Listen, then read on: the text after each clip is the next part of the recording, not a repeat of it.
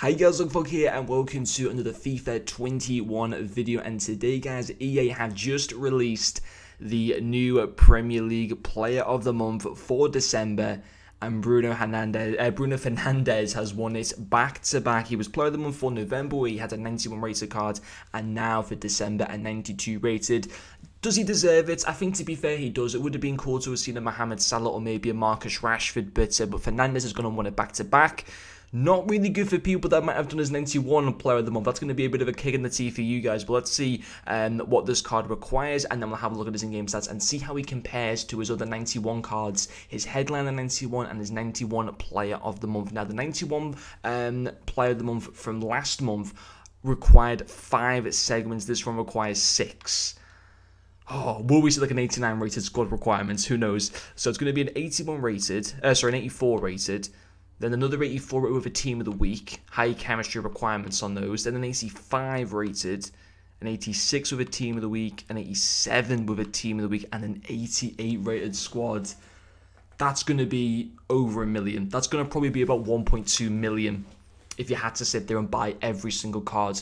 And he's going to be getting literally a team of the year in the next, what, like seven to 10 days um, which kind of makes this SBC not quite as exciting as if we would have got, because obviously Marcus Rashford and Mohamed Salah, they're not getting into Team of the Year. That's why I was hoping one of those two is going to get this Player of the Month card just to make it a bit more exciting. I feel like this 92 card, as good as he is, it's a bit of a waste.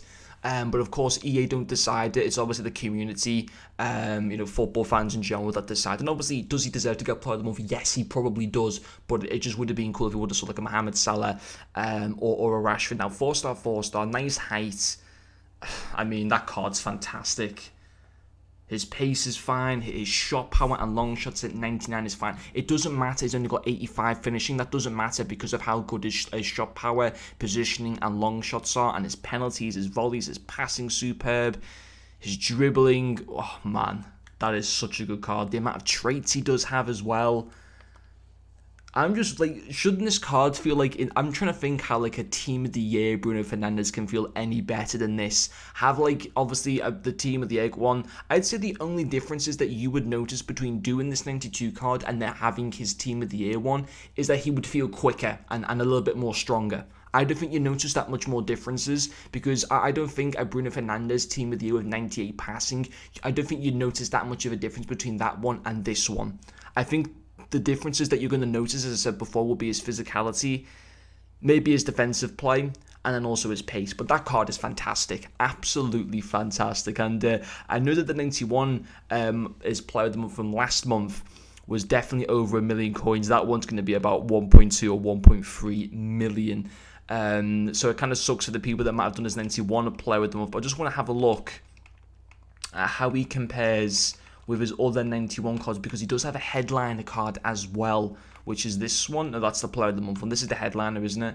It is. Okay, so what differences have they got between the two player of the month cards? So two more pace, one more shooting, one more passing, dribbling up dribbling up by one and then defending and physicality up by two so it's a pretty nice upgrade i think for just a one overall upgrade it is a, it is quite a nice upgrade um in my personal opinion that that, that is a, a pretty good upgrade yeah, definitely pace wise, and then three more strength is pretty good. A lot more interceptions, defensive awareness is better. It really, I mean, if you got the 91 card, you go and do the 92. No, you don't. Uh, I remember in previous years, um, what they used to do was the if, if a player ever got a second player of the month, you could put the original player of the month to make the upgraded player of the month SBC a lot more cheaper. Remember when they used to do that back in like FIFA 17 or FIFA 18? They don't do that anymore. If they used to do that, then yes, for the people that had the 91, you should put it into 92. But if you're sitting there right now with the 90 with the 91 player of the month Bruno Fernandes, you don't upgrade it because even though this 92 card is better, you wouldn't notice a difference in upgrading him, in my personal opinion. And of course, you do have the headliners card as well that no doubt will get upgrades. Of course, if United win the four matches and also have plenty more informs. So if you've got the headliners cards, you don't sell the headliners and do the player of the month. You just keep the headliners cards, in my personal opinion. But on the whole, it, it is a great card. It's just so expensive. But as, I suppose at the same time, you're going to be getting one of the best cams in the game, but it would be a cam that you wouldn't be able to sell, and he will get more special cards. The chances are the fact he's already got now back-to-back Player of the Month and how well Man United are playing, the chances are he will get another Player of the Month between now and the end of the season, in my opinion because you still got January, February, March, April. You still got five more months left of Player of the Month cards to come. I would be surprised in those next five months he doesn't pick up another player of the month. I'm not saying that next month he's going to go win it for the third time in a row, but we've seen in previous years, like of Mohamed Salah have amazing years where he got like like five player of the month cards over the course of a season or something like that. And I can very much see Bruno Fernandes picking up a 93 player of the month in the future. So it's a great card. It really, really is. I'm just a bit disappointed that we didn't get a Salah because I would have done him and I would have had him in my main team.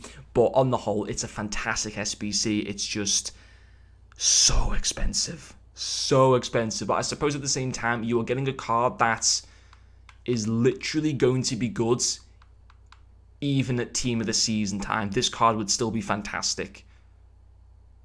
Uh, and think of how expensive his team of the year card's going to be as well. That's going to be so much his team of the year card. Like his team of the year card's going to be well over 3 million coins, maybe even at 4 million potentially, because like the hype around him. And this card, you may already have like lots of stuff in your club to go and do him.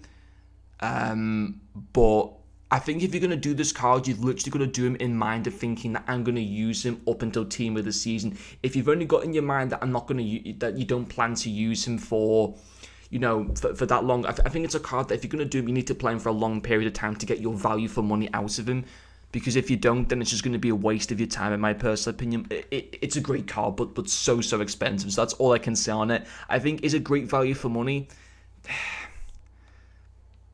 I, I, don't think it's in, in some ways I don't think it's bad value for money because there are upgrade packs to be able to do uh, available in the game but can you justify spending I mean obviously you know if you have to buy every single player, can you justify spending like 1.2 million coins to go and do the SBC? No, you can't. If you've already got stuff in your club, it does make a little bit more sense to be able to do him. But on the whole, I'm just going to say it's a great SBC, but extremely expensive. Let me guys know what you think in the comment section as well. Thank you very much for watching, and I'll see you guys later.